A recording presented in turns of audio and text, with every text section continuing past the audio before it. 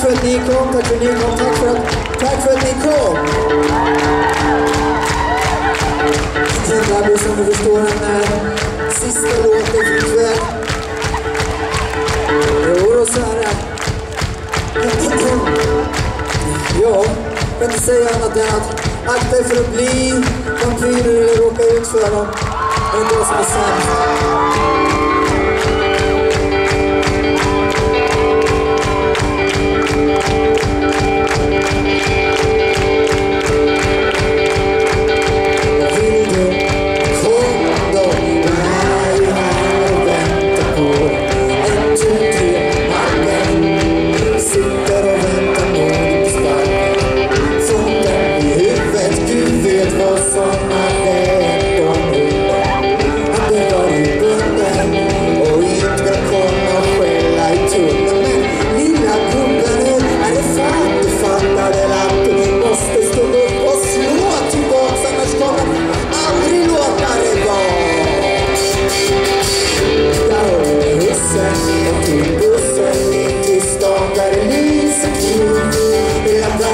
Sit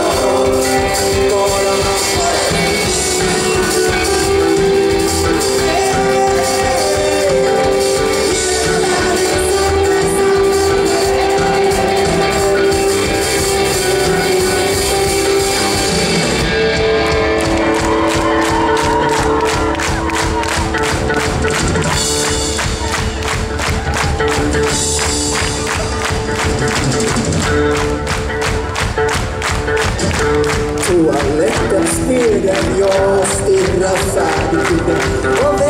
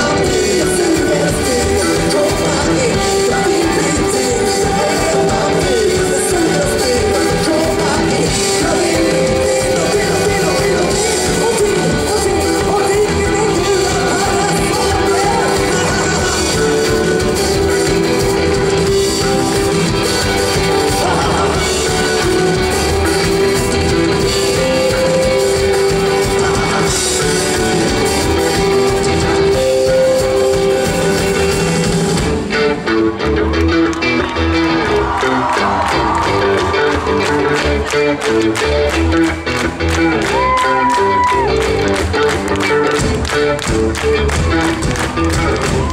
you.